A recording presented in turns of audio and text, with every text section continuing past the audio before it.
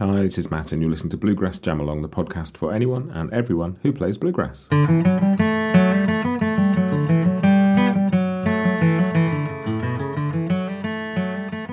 Hey, everybody, welcome back to another week on Bluegrass Jam Along. This is your Monday Bluegrass briefing for the 13th of March 2023.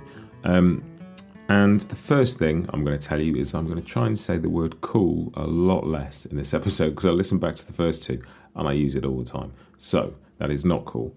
Uh, I'm clearly going to use it a bit because I can't help myself, but I'm going to use it less. Let's see if I can stick to that. Um, so yeah, just general pod news first. A few bits and pieces to tell you about before we crack on with the rest of it. Um, so kicking off a new schedule, these Monday briefings are working out really nicely. So I've had some really nice feedback about those. So I'm going to keep these here every Monday. I'm going to do your weekly sort of roundup, um, and then I'm going to put new episodes out on Wednesday. And the plan is one week it'll be a tune, set of tunes, and then the following week it'll be an interview, and I'll keep swapping backwards and forwards and keep going. And there'll be the odd special thing in between um, that I'll fit in as and when I need to, but it'll be one week tune, one week interview, um, as much as I can stick to that. Um, and I think that'd be really cool. There you go, I've said it. I think that'd be really good because uh, having the briefing episodes means I can do all this stuff and there's a bit less chat in the tune episodes and you can get to the tunes quicker. Um, so that'll be helpful, I think, and gives me a chance to tell you other stuff I need to tell you in between. So, what's coming this week? We've got this, and then the first episode on a Wednesday is going to be this Wednesday, and it's going to be an interview with John McEuen from the Nitty Gritty Dirt Band. Now, I did this for the Doc Watson 100th birthday episodes, um, but I didn't use it all. There was some of it that wasn't that Doc related, and some of it that was just a bit too much to fit in. They ended up being nearly five hours long as it was. But it's really, really interesting stuff. John's a like really interesting guy. Will the Circle is a fascinating album, and he's done lots of other stuff since that's that's really great too. So I thought I would put out the full interview. So that's coming out on Wednesday. Um, yeah, lots more sort of Will the Circle, Be Unbroken chats, some just good stuff in there. So that's going to be really interesting. Um, and then next up, I'm working on another of these special episodes, and it's going to be a celebration of 40 years since Tony Rice's Church Street Blues record came out, because um, that was released in 1983. And I thought the 40th anniversary would be a good time to get some people together to chat about it. And some of them are people you'll have heard on the Doc Watson episodes, and there'll be some new people on that as well. Um, you know, more sort of relevant content for that. I've talked to Tim Stafford already. Um, I've talked to Bryan Sutton, but I'm going to talk to Caroline Wright, who co wrote the book with Tim Stafford. I've got a couple of very, very exciting guests lined up for this one. And I haven't recorded either of them yet. And so I'm not going to tell you who they are in case it falls through. But there's a couple of really, um, I'm going to use it now because it's relevant, cool people coming up in that one. Um, so, yes, more on that coming up. If you don't want to miss out on that, sign up to the mailing list. You can either go to the website, go to the bottom, and there's a button there, or you'll find it in the links on Instagram. Or you can just email me, matt at bluegrassjamalong.com, and I will send you an alert when that episode's out and when all the episodes are out. Um, yeah, uh, one more thing about the podcast before I carry on with the news stuff is I'm doing a bit of an experiment on YouTube. Um, some people really like the bluegrass stuff and the interviews, but they don't really do podcasts, and I that you know makes sense. Nobody does. So I've put the two doc episodes and the Sierra Hull interview up on YouTube just as audio. Um, and I'll put a link in the show notes where you can find that. If you've got friends who like would be really interested in this sort of content, but they don't really do podcasts, send them a link to that and see how they got on with that instead. Um, just going to try it. If it works, then I'm going to stick all the other episodes up there too. It's just another way people have been able to hear this stuff because I do know that not everybody is sort of podcast savvy or likes podcasts or you know wants to listen to stuff in that way. So I'm trying to get the content out in other ways if I can, so as many people as possible can hear it. Uh, but that's it. The next section is the sort of general news and announcement stuff, and I, this is the way my brain works. So I'm finding silly titles for all of these. So this is now going to be called Church Street News.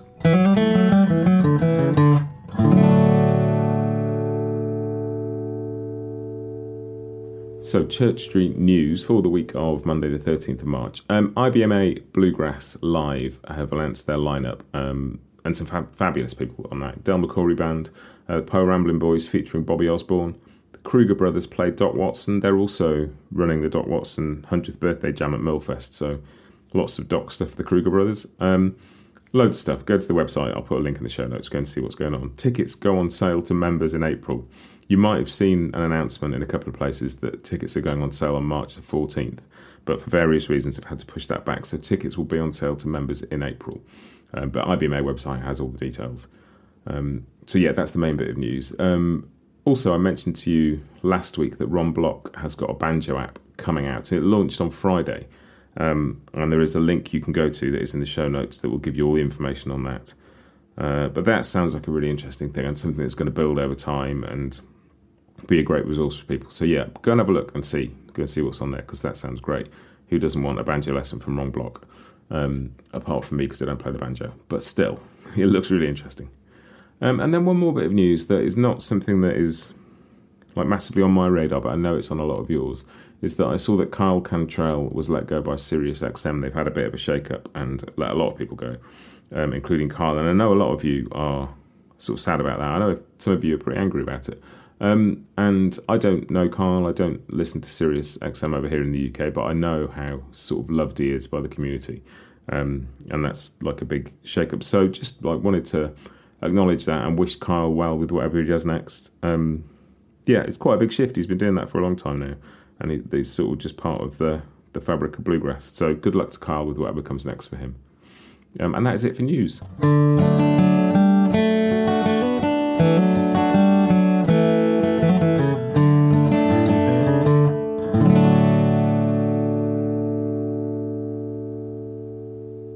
So the next section is new releases coming up and out, um, and obviously this needs a silly name too. So I'm going to call this section "The Grass Is New." What else? Um, so I've mentioned a couple of times that Mighty Poplar, the band that's got um, Chris and Noam from Punch Brothers, Greg Garrison from Leftover Salmon, um, Alex Hargreaves, this a bit of a bluegrass supergroup. Um, they've got a record coming out in a couple of weeks, but they've now got three tracks out for streaming and I absolutely recommend you go and listen to these. They're brilliant. Um, three tracks are out now: "Up on the Divide," "A Distant Land to Roam," and "Grey Eagle," and it's just great stuff. It's really good. It's got that sort of solid traditional bluegrass feel, but it's also got a freshness and a little bit of an edge, and it's just really good stuff. Go and have a listen. Um, yeah, Mighty Poplar, fantastic stuff. And then also, I noticed there's a new single from Missy Raines, "These Old Blues" with Danny Paisley and I really enjoyed that too. Um, so go and check that out. That's a a cool thing that's just dropped this week. And Missy's band features Tristan Scroggins, who was one of my earliest guests on the podcast. Um, yeah, so there's quite a lot of bigger stuff, albums coming towards the end of the month, but there's a couple of really interesting singles there that I thought I'd point out. Um, they're worth having a listen to. And that's it for this week's releases.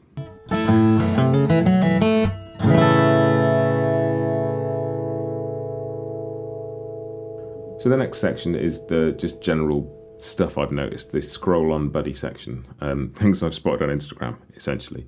Um, so yeah, a couple of things. One of them, a bit enigmatic. Um, Chris Thile just posted something with a coming soon sort of message, and it just says Chris Thile's acoustic camp for celebratory days and nights of acoustic music, uh, exploration, coffee, and cocktails. More information coming soon. I mean, all of those things sound great together. So that could be really interesting. Um, and if it's Chris Thile, I'm sure it will be. Uh, Chris, if you're listening, you want to come and tell me about it, please do. I know Chris isn't listening, don't worry. Um, but yeah, that sounds really interesting. Um, and the second thing was uh, I saw a reel, a little video on Instagram from Jake Eddy, who has been on this podcast nearly as many times as I have. Um, I love Jake. He's really interesting. He's got a very sort of deep way of looking at stuff that's also just accessible and easy explained, and he just yeah he, he sort of I don't know he's got a really um, a really good way of explaining concepts on the guitar. And I'll put a link in the show notes. You don't need to be on Instagram or have an Instagram account to see it. It's just a video you can click and watch. But he's chatting about this idea that if you don't listen to much bluegrass, you don't have context.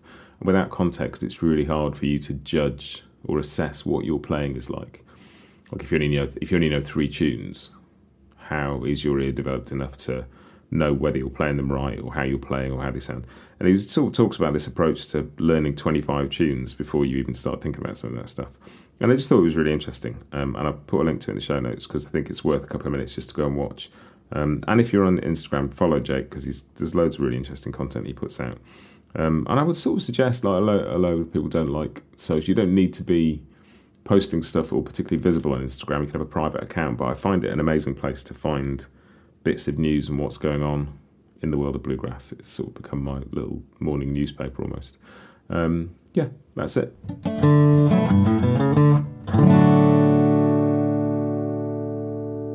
So the last section um, is just I'm going to just talk about a couple of bits I've been listening to this week, really.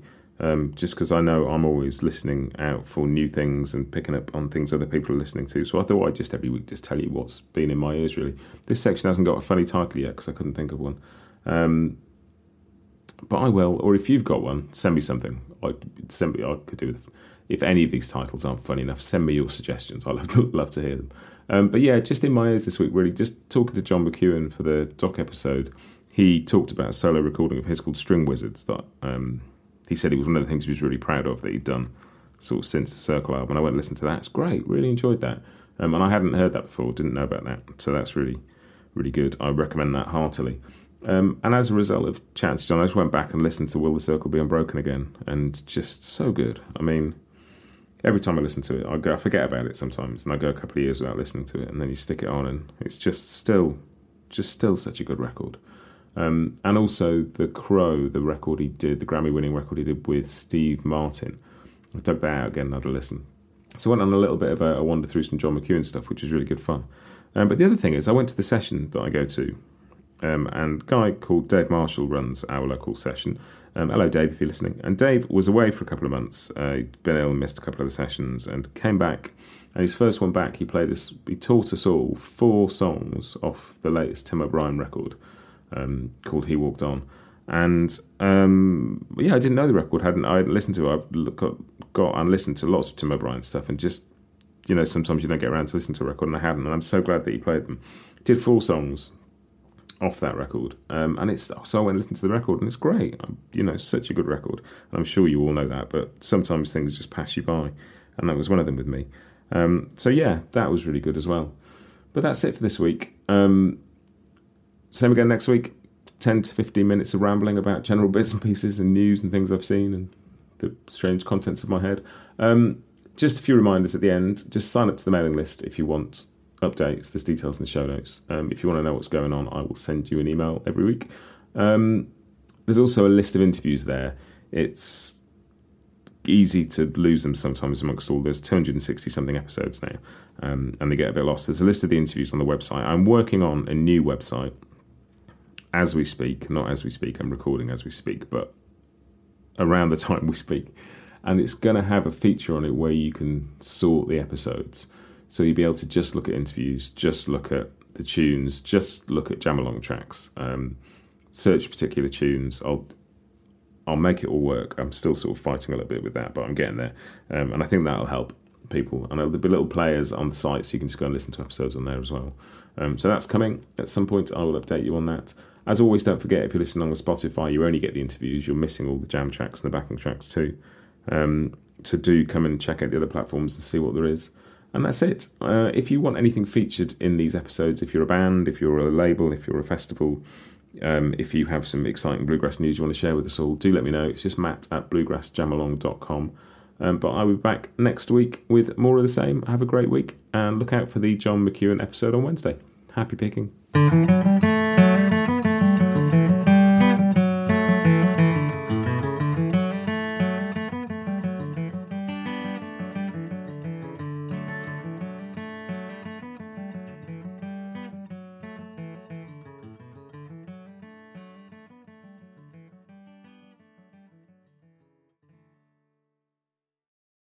Bluegrass Jamalong is proud to be sponsored by Collings Guitars and Mandolins, making some of the finest guitars and mandolins in the world since the 1970s. Visit collingsguitars.com and find out why.